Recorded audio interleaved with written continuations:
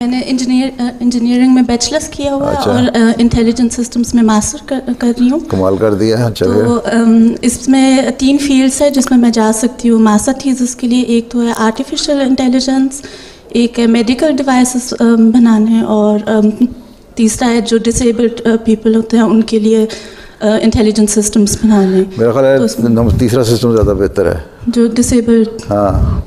उसके लिए करें। ठीक है। बल्कि उसके बाद जब ये शुरू करें तो फिर रवा में भी हमने खोला हुआ है स्कूल नया खोला खुला है दो साल पहले। वहाँ भी जाके वक्फे आर्जी करके आए तभी ठीक है? जी।